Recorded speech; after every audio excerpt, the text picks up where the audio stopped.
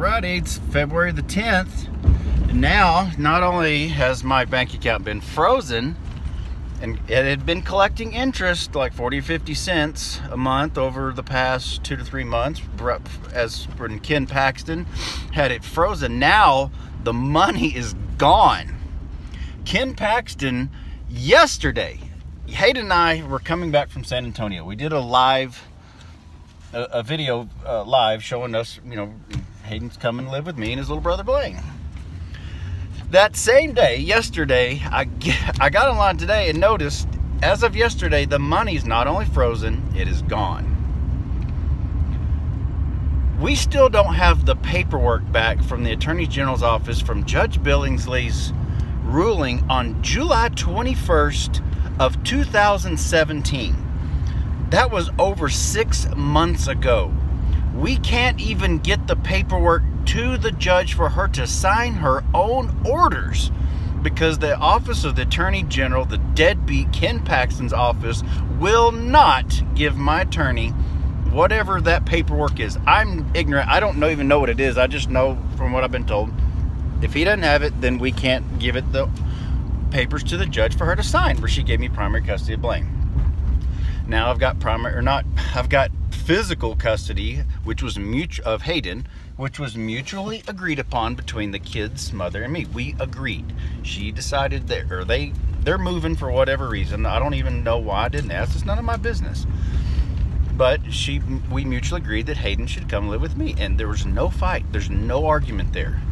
And now, Ken Paxton has stuck his nose into business he had no business sticking his nose into.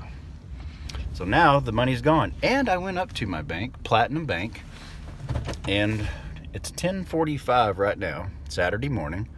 They aren't even open. They've always been open until about noon on Saturdays, at least the drive-through. They weren't open at this time. So, for those of you watching this on YouTube, I took a screenshot of my online banking where it shows I was collecting interest the last couple months like I said, it's not very much because there wasn't a lot of money, relatively speaking. To me, 3,700 bucks, that's a lot of damn money. So I'd been collecting interest, so I took a screenshot, and as of yesterday, the money show it shows a zero balance. The months before, it showed 3,700 or whatever dollars plus the interest, and now it's all gone. So I put Ken Paxton on blast and tagged him as I normally do. And tagged him on Facebook. I'm up here, we're about to do some unloading into the storage.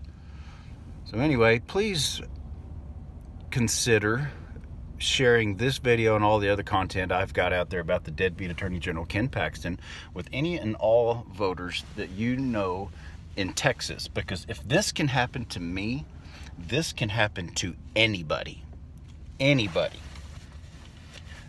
My child support was ordered lowered on July 21st, 2017 because I got Blaine. It has been racking up ever since. I thought it was going to take, you know, a couple weeks, maybe a month, so I wasn't going to pay until it was, I didn't want to overpay. And now it, it, I was like, a month goes by, another month, another month. I'm like, what the hell? Where's this paperwork? So it had been racking up at the old rate. And now Ken Paxton's trying to make me look like I'm a deadbeat dad and it's all over money. Well, he not only froze the account, he didn't even give it to my kid's mom. So if it's all about money, Ken, that's why I'm calling you the deadbeat Attorney General of Texas. Because you, sir, are unfit to be the Attorney General of Texas. You have declared war on a little peasant in your state, me, the notorious dad.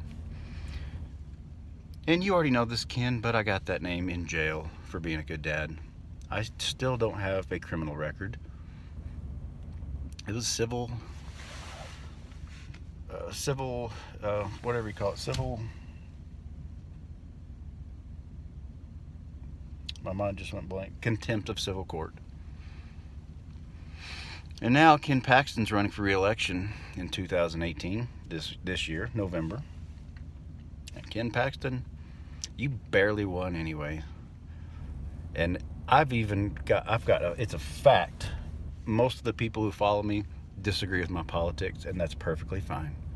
But one thing we all agree upon what you're doing to otherwise good parents in the state of Texas is dastardly. And you're not going to win re election. I'm going to spend the rest of this year making sure every Texas voter in this state knows what a dirtbag you are. So keep doubling down, because I'll just keep doubling down too. Have a good day. Peace, love, and consider not hitting your kids. I love you all, except for Ken Paxton.